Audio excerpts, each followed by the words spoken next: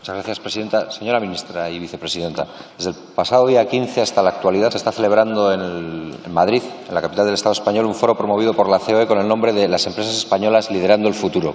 De hecho, hoy mismo se clausura por el Rey y sabemos que se clausura de forma solemne, lo que no sabemos es si va a ir a recoger leche y aceite. Pero en cualquier caso, en el mismo se han hablado de tres elementos fundamentales. Se ha hablado de la necesidad de mayor flexibilidad laboral, de la apuesta por más colaboración público-privada transformada en ayudas a las empresas y una exigencia por una fiscalidad a la carta, a la medida de las necesidades de las empresas. ¿Contempla su Gobierno aplicar las recetas propuestas por la COE?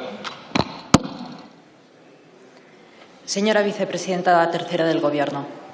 Gracias, presidenta. Señor Matute, la envergadura de la emergencia sanitaria, económica y social a la que nos enfrentamos es tal que yo creo que necesitamos todas las voces, todos los brazos, remando todos en la misma dirección para salir lo mejor posible y lo antes posible de esta situación tan compleja.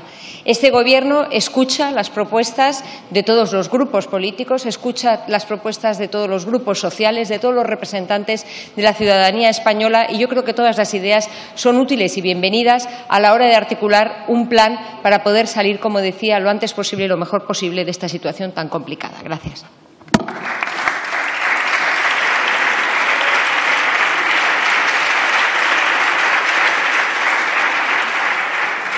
Señor Matute García de Jalón. Sí. Yo tengo serias dudas de que podamos remar en la misma dirección quienes nos quieren llevar a la perpetuación de una reforma laboral que ha traído precariedad, que ha traído paro, que ha traído exclusión, que ha traído feminización de la pobreza y quienes la han sufrido. Sinceramente, nosotros lo hemos dicho por activa y por pasiva a este Gobierno, al Gobierno del que usted es vicepresidenta.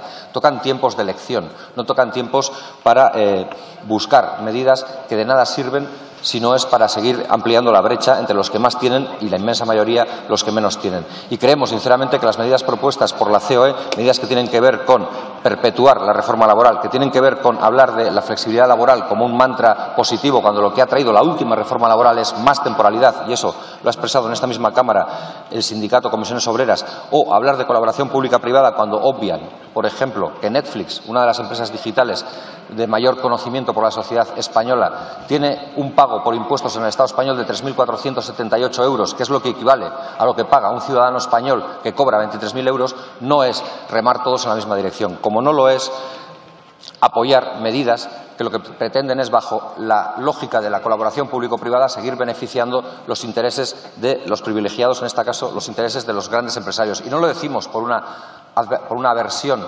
eh, específica y calculada contra los grandes empresarios. Es que lo decimos porque, por ejemplo, Intermon Oxfam ha dicho que durante el periodo que ha durado el COVID, durante el tiempo que transcurre entre el 14 de marzo y la actualidad, los 23 ultrarricos, y la palabra la elige Intermon Oxfam, pero me parece muy adecuada, los 23 ultrarricos han ganado 19.200 millones de euros. 19.200 millones de euros han ganado los 23 ultrarricos del Estado español, mientras la inmensa mayoría de la ciudadanía española ha visto empobrecerse de manera sistemática. Cuando hemos visto que han crecido en 70.000, en 700.000 personas la gente que tiene riesgo de exclusión. Por eso les decimos que es tiempo de elegir, que es tiempo de elegir si seguimos el mantra y la lógica de las grandes empresas o si seguimos la lógica de la ciudadanía, que es la que. Gracias, señor Matute. Señora vicepresidenta tercera del Gobierno. Sí, muchas gracias, presidenta. Señor Matute, dice usted que es tiempo de elegir, pero tampoco es justo elegir solamente algunas de las ideas que se vierten en un determinado foro. Yo creo que lo justo es escuchar todas esas ideas que en las últimas semanas, en los últimos días, hemos ido escuchando y que en general muestran un enorme consenso social de todo el, espectro social de nuestro país, todos los representantes empresariales, los representantes eh, de los trabajadores. En general, yo todo lo que escucho es lo mismo. Tenemos que salir más fuertes, tenemos que apostar por una transformación de nuestro modelo productivo que se centre en una economía verde, en la digitalización, en un sistema educativo más fuerte, en la formación profesional, en trabajos dignos y, en definitiva, en un crecimiento más sostenible e inclusivo. Eso es lo que yo escucho y yo creo que sobre eso es sobre lo que tendremos que seguir trabajando juntos. La apuesta de este Gobierno yo creo que está clara.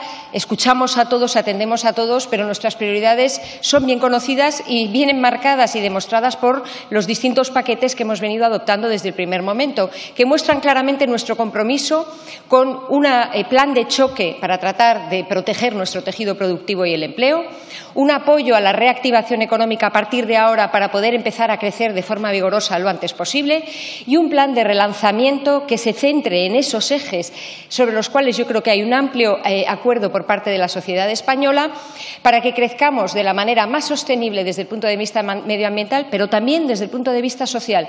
Este Gobierno ha elegido, señor Matute, hemos elegido no dejar a nadie atrás. Muchas gracias.